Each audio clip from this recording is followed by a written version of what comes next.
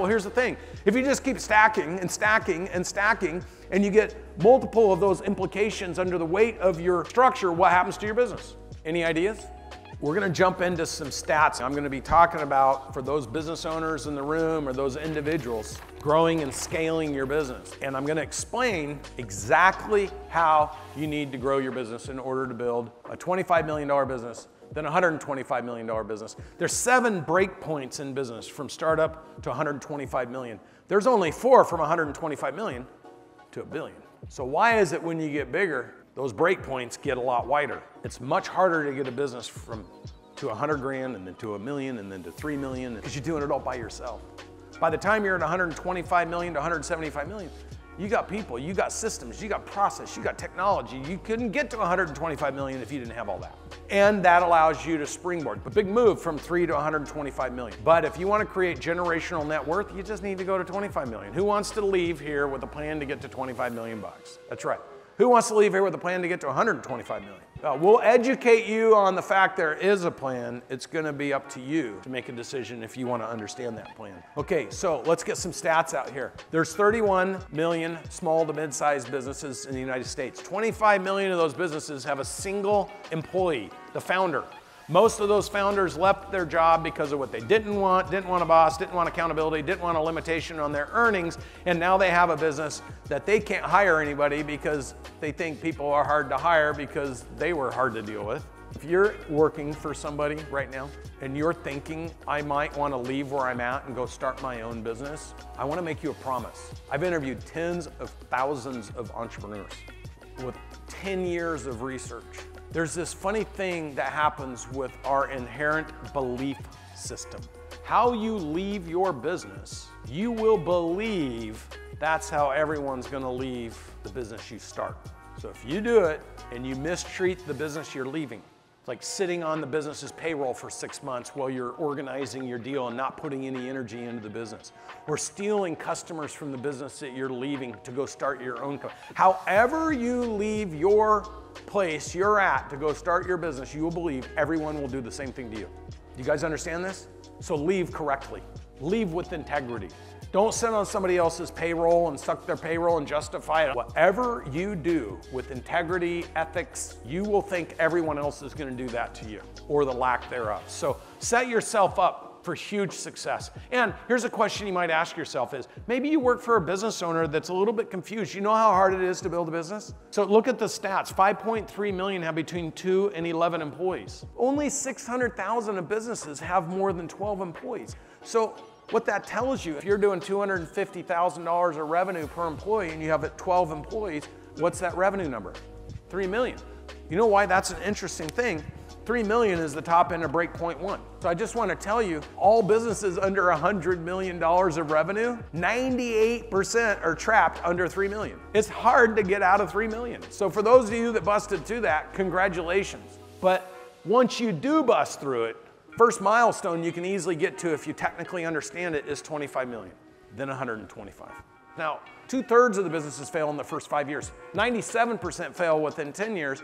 That's even the big ones if they make it to 10 years. Why would a business that's 10 or 15 or 20 million fail after 10 years? Could be a whole variety of things. What if you knew 98% of all those things before they happen? Because there's a consistent, with all the research we've done, there's a very specific, consistent theme about what happens at each break point and how those break points compound on each other and then how the businesses collapse under their own weight. And there's an old saying, and there's a reason that saying is around. The bigger they are, the harder they fall. See, they create velocity on the way down. If you know that you're gonna build a business, you set your targets, 250 to $500,000 of revenue per employee. Those are targets. Usually a $250,000 business on average will generate 18 to 22% profit and a half a million of revenue per employee is like 22 up to 45. And there's a range there because if you're a software company, it's going to be different than if you're a construction company. So if you know those are your first two rules and you want to build a company to a million dollars, it's you plus three. 250 times four is what? It's a million. Now you use the rule three. You train these guys to each have three in their work groups, and now you have nine. What's nine times 250? Now, if you can build it at 500,000, nine times 500,000 uh, is 4.5. So now you have a business that's between 2.2 million and 4.5 million. And you keep playing the game, one to three to nine to 27. When you're at 27 people at 250 or 500,000, how big is your business? At 500,000, it's 13.5 million. And what is it at 250? Half of that. So what is that, 6.75? So you see how we just engineered a business up into break point three? All you need to know is what can we do to generate? There's a hundred of you in this room that have businesses that generate between $225,000 and $750,000 of revenue per employee. So can that be done? Yes or no? This is the work I did for 10 years with a bunch of research companies. If we went around the room and did that, what's your profitability? What's your profitability? What's your profitability? What's your profitability? All of a sudden you have revenue, how many years it took you to get there, revenue per employee, profitability. And if you do that over thousands of businesses, what do you learn? You learn this data. How many years, how many employees, reverse engineer, reverse engineer, and all of a sudden you have a model. You have an algorithm for success. What caused you to break at 3 million? What were the three to five things that caused you to break? You get enough people to identify those three to five things, you find the three that everybody had to deal with. Then you do the same thing in break point two. Then you do the same thing in break point three. Then you do the same thing in break point four. Then you do the same thing in break point five. Well, here's the thing. If you just keep stacking and stacking and stacking and you get multiple of those implications under the weight of your structure, what happens to your business? Any ideas? If you decided you're gonna build a one story house and you just kept stacking another story and another story and another story, what would eventually happen? And if you're in the building space, you'd be like, well, you can't do that because they send engineers out. They send people that have to pull permits and they send inspectors out. And they, well, why do they do that? Because 100 years ago, they didn't do that and enough people died. You guys agree? Like, if you just wing building your building, it eventually could collapse. True or false? And yet, I looked at that because I built a few buildings. I'm like, this process is pretty rigid, right? You don't get to wing it. You know, let's add a few feet here and open those walls up. You can't do that.